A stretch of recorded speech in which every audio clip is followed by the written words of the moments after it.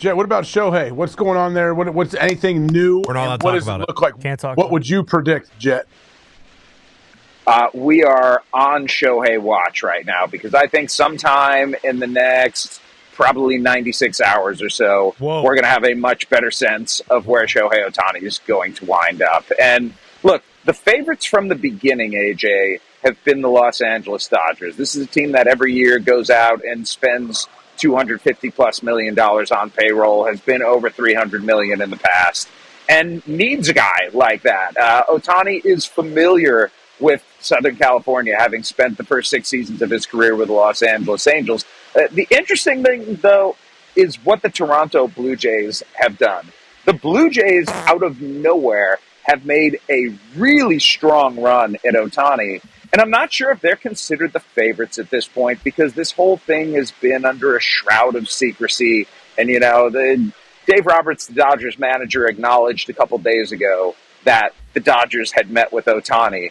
And like pearls were being clutched everywhere because, frankly, Ohtani and his camp went to everyone before the process started and said, We don't want any leaks. We don't want this in the media. We want no acknowledgement that this historic free agency is happening right now, which I think is uh, honestly understandable, but kind of a ridiculous conceit because baseball needs all the help and all the love it can get. And I know Shohei Ohtani provides that on the field, but just imagine if this thing had turned into not even a circus. Imagine if Ohtani showed up to a ballpark or showed up to a meeting and took a picture and put it on Instagram. There's there's like no responsibility talk. for that, but Oh, eh, you hundred percent would. It, it, you know, okay, where's Shohei today? He's in L.A. He's in Toronto. He's in San Francisco. He's in Chicago. He's going all over the place. He's meeting with these people.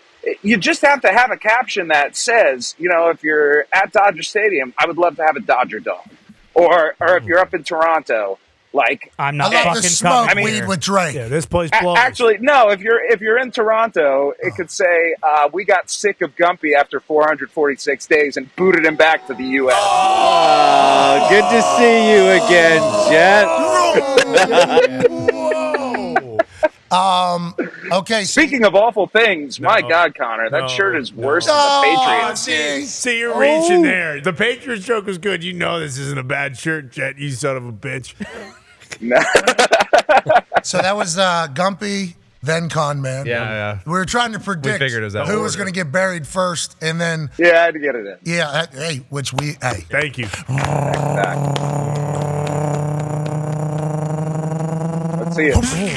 Oh, That- It Dro- is dropped a couple missiles. I on will its say way. that. yeah, remember you said what? Ten million dollars gets you one jet. That's been seven, eight Yeah, of them. yeah, about Seven, eight of these things Whole flying. fleet. The Blue Angels just Yeah. came through this entire thing. Uh, you re- listed off a bunch of places when you were fantasizing about what a Shohei Ohtani free agency could be. You said Chicago, L.A., Toronto, um, San Francisco. Are those the Yep. like? Who? How many people were in this conversation? Just from what you know, which is obviously very little, because Shohei's team doesn't want anybody to know anything. I mean, at the beginning, we thought that Boston was going to be in it and that Texas was going to be in it. The New York Mets were going to be in it. But uh, I think pretty early on, they recognized the likelihood of getting Ohtani was probably pretty minimal. And so they pivoted toward other things. And there haven't been a whole lot of moves in free agency at this point because Ohtani has not signed and because Yoshinobu Yamamoto, the right hander out of Japan, who's probably himself going to get upward of $300 million, uh, has not signed. So the market's kind of been stuck at this point. There haven't been a lot of transactions so far, uh, but there's a good reason because Ohtani is the best player that we've ever seen, and because Yamamoto is 25 years old. And in baseball, it's so extraordinarily rare that you see a 25 year old free agent, a guy whose best years, frankly, you can get. And so, oh, are you picking it up? There we go. Uh, and and so once those guys sign, you know, Ohtani, I think it's probably going to be early next week. Yamamoto is going to be more like mid December, and once that happens, everything else is going to move. But How the fact that Soto got much dealt to the Yankees, How much Shohei? what do you think? I, I want to hear what like Is he a, gonna a pitch? football guy thinks. Yeah, he'll pitch eventually. So- he won't pitch this year, but he's going to pitch after that. Okay. Absolutely. Okay, will you hit- hit and pitch after this year? So this year, ju- Yep. they're just Yep. resting the elbow pretty much.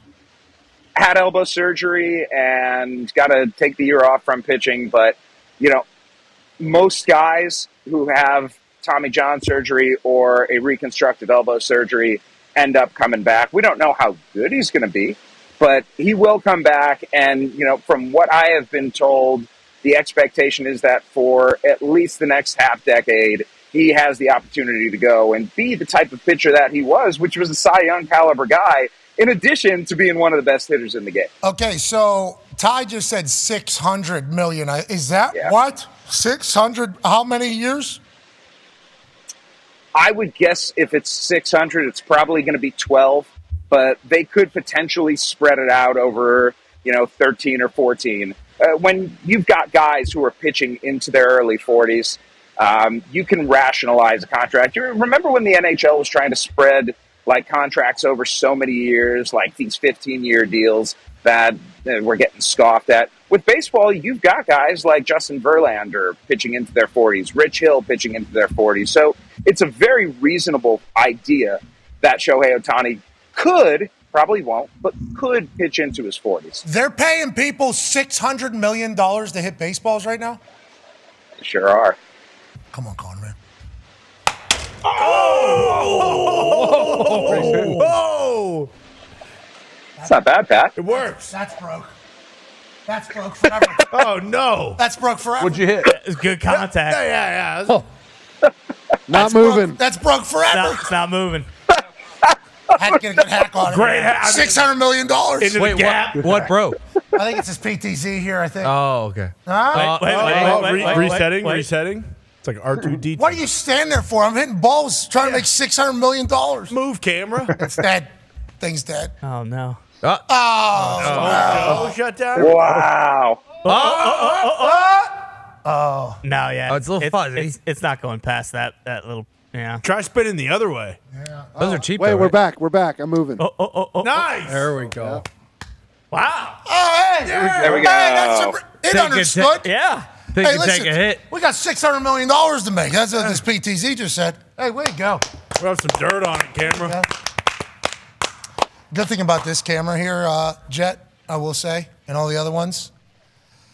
So they're all 4K cameras. You know, I had to get it whenever we uh, when we built this place. Yeah, high quality. Had to, you know what I mean? Had to had to do that because in four years this is going to be the archaic. You know what I mean? Right. So that was before we go to ESPN. So then we go to ESPN, and uh, yeah, we actually have to dumb down all these cameras Yep. to get down to 1080. Of course. you know, because yeah. So that was uh, so this this thing is uh, too qualified for its current profession. Yeah. And it's got toughness. This thing personifies our show. Hey, thank you for being the great PTZ. Mm-hmm. Yeah. Hell yeah. That's our Bob Spillane. That is our Yeah, Bob. it is our That's Bobby. our dump trucker. Bobby, Yeah, Bobby, same. even. Well said. Six hundred million dollars guaranteed forever. That's like the like Bonilla's what still getting paid, Yeah. Yeah. right? Isn't that uh that's still happening over there in baseball? Yeah, but, but Pat, here's here's the thing about why you can rationalize 600 million for Otan. definitely Because I, billion. No, I mean the guy. The guy is a business. You know, he is the most recognizable and beloved figure in the entire country of Japan. Like over there, he's an absolute god. And so you have money coming to the team that signs him for marketing deals, for licensing deals. I, I mean, you can rationalize that you are going to pay for Shohei Ohtani's on field salary, or at least very much supplement it, simply through off field stuff alone. Not to mention the tickets, the concessions, the parking, all What? those things. And and that's why Toronto makes the most sense, honestly, because no, it, like Toronto has so much to gain. They just spent three hundred million dollars to renovate their stadium another hundred million dollars on the renovation of their minor league complex or their spring training complex rather. And so with those two things right there, that's a really hefty outlay. And after a disappointing finish to the season last year, fans there are disillusioned. They came into the season wanting one of two guys. They want either Shohei Ohtani or Juan Soto. Oh, and Juan Soto just went to the Yankees. So Ohtani's the one who's left. And I, you know, the Blue Jays are pouring everything they can into getting Ohtani. I mean, what a game changer for Toronto uh, that would be. I, no, I've went and saw the Blue Jays play against the uh, Yankees. Yankees. Against the Yan- in their ballpark. It was. Uh, were we there for Royal Rumble? Survive. What was up there? I forget. Was that during the Maybe War Marshawn? Games? There was Whoa. something was up there. We were up there for a WWE event and had like five hours, and we're just walking through the city, and it was like, "Oh, the Blue Jays are playing the Yankees today. It's, we should try to go to this game." We do. We get get in there. We're so beautiful ballpark. Yeah, it was awesome. Fans showed up. I don't think uh, the Blue Jays were necessarily great at that point, but it was beautiful vibes. Sunburn, I think. Right? I- I- Oh, yeah, if I- definitely. if I recall, Oh, roof was open? I didn't know- Toronto's amazing. I didn't. Yeah, Toronto is a beautiful city, but that is not where the MLB great city. wants Shohei to go. Right? That wouldn't be right. Wouldn't that I, be? yeah, I mean, it, you know, if if ideally, of course, they want him to be a Dodger because you know it's L.A. It's eh, he he personifies L.A. just in the star quality alone. Because you look around Major League Baseball, there are a lot of great players. no offense, in Toronto. baseball. We love Toronto, Right. Sure. But it's just like there's there no are way lo- the biggest star in the history of the league. That's no. You that's know- the point. There are a lot of great players in baseball. There are not a lot of stars.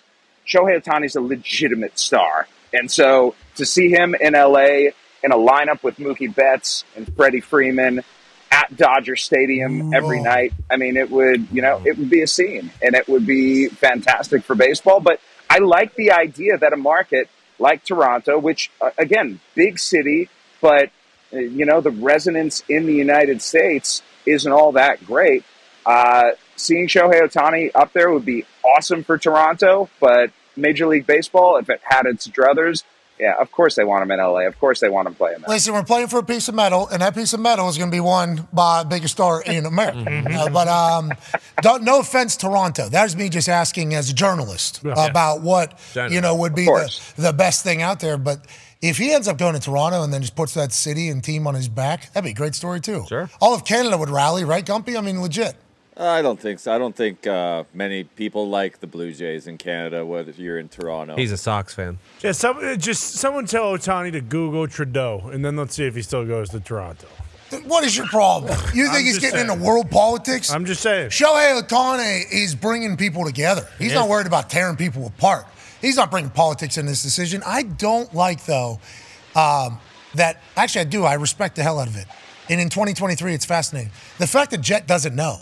Yeah. Crazy. That's that's really impressive to me, especially in a league where you would think there'd be a bunch of leaks everywhere. Them kind of standing strong with not letting anybody know where he's headed. I like it. Mm. I enjoy it. I appreciate it. But we would have talked every single day with every photo that popped up about Shohei, just like we did when Deshaun. Yeah. Remember when he had like a green hat on? Oh, yeah. It was like Deshaun Watson is going to be an eagle or a jet Going or to the something. Dolphins. We would have done the same thing for Shohei. The fact that he said no to that, I respect it.